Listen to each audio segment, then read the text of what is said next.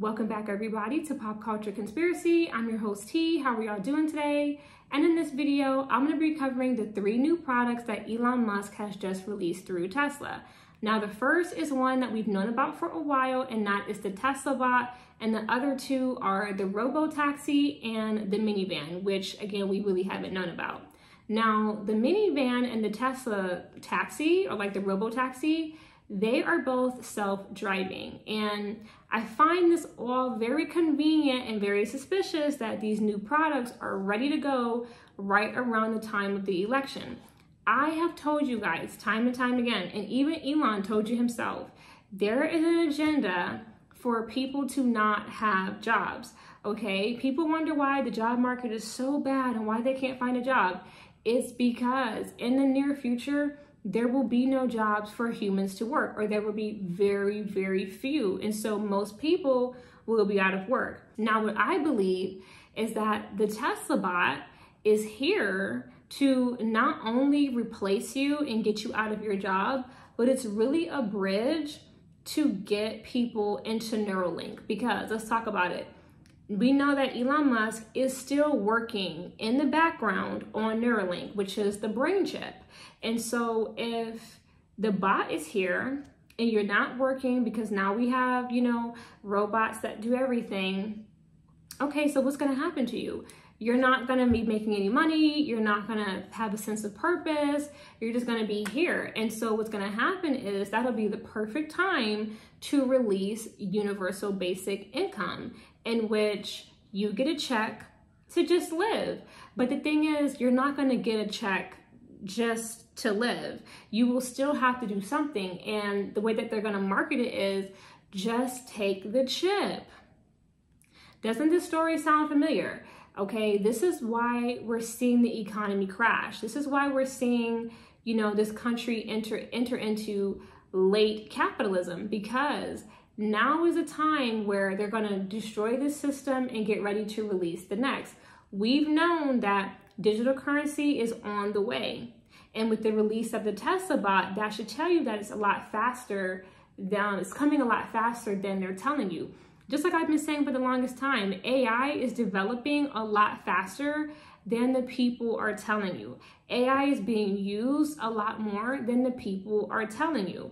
AI is looking at your resumes. AI is scheduling your interviews. AI is doing everything now because there is a agenda to get humans out of the workforce. I think we know that by now. And so between AI and now the bots, there is a real like war being waged upon the human race. So you're gonna take the chip like they want you to. All currency will be digital and controlled. They're already working on 15 minute smart cities.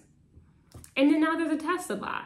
And it makes me think of the movie Swan Song, where um, that film was about um, that film was about cloning. And in the movie Swan Song, they had like self-driving public transportation. They had um, self-driving cars. They had, you know, wait robot waiters on the train. And it also makes me think, of course, of Black Mirror, particularly the episode called 15 Million Merits, where it's set in the future and the people do not have jobs. They live in like this, you know, um, they live in like these boxes where they're surrounded by screens and all they really do all day is like work out. And i heard that they're in like jail actually. But all they do is work out and they work out in exchange for merits or money which is showing again a form of like you give up energy to get money. And that's kind of the same system that we're in now where people can go to work in exchange for money. But the money that they were receiving was digital currency. And again they were locked away. They couldn't really go anywhere. And they just had to like you know, use money to like um, skip past internet ads all day. So you guys, the future doesn't look too hot. Next year it's going to be rough. If you think it's hard to find a job now, it's only going to get harder. You know, I think it's very obvious that a certain administration has been lying about um, the number of jobs and how many are available and all that other stuff you know, it's all inflated and they have to inflate it, especially right now, because they need you to still be bought into the system. They need you to still have faith and have hope in politics, the government, and again, the current system that you're so used to. But we know that it's crumbling around us. Last but not least, before I get into the TikToks that I'm gonna show you guys, of course, this reminds us of iRobot, in which in the end, the robots turned rogue against humanity because they were created to do so. They're here to replace us. Okay, AI is here to replace us, and it's only a matter of time before things go sour. Let's get into the TikToks about this new Tesla bot. I swear, ain't nobody on TikTok connecting dots like I am. Elon, you thought you was gonna get away from me like that? I already told everyone what you was gonna do. Here, let me show you again. Elon, what is this?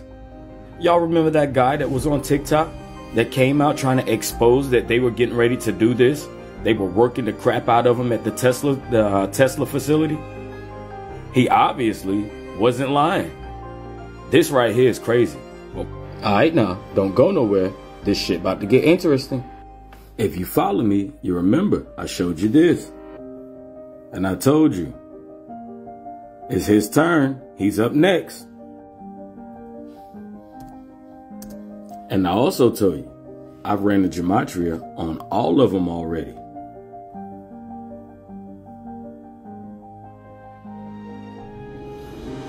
Who else on here connecting these kind of dots? I've already showed you all what was going to happen for the future before it happens. And if you follow me, tell me I'm wrong. And here's one for you that you got to watch out for. Whenever you start to hear about that one, just know that that's on the way and that's on the way. And what they call them, walkers, ain't that what they used to call them back in? Never mind. But fundamentally, at scale, uh, the Optimus robot, you should be able to, to buy an Optimus robot for, I think, probably twenty to thirty thousand dollars long term. So, and, and, and what can it do? It can, it'll basically do anything you want. So it can um, be a teacher, babysit your kids. It can walk your dog, mow your lawn, get the groceries, just be your friend, serve drinks, um, whatever you can think of, it will do. And yeah, it's going to be awesome. And I, I think this will be the biggest product ever of any kind. Something that anyone could own. Um, so you can have your own personal R2D. The new Cybercab. Cybercab looks amazing. I know. I'm trying to get a ride. Dude, me too. And uh, they will directly, I mean, that's just. Elon, he's a techno king. Optimus can talk? Yeah. He also does sign language.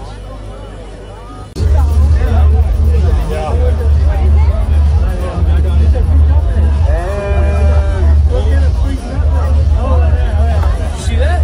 Yes. Can you give a peace sign, Optimus? Can you do the peace sign? There he is. That's I got it. another one. There you go. Oh.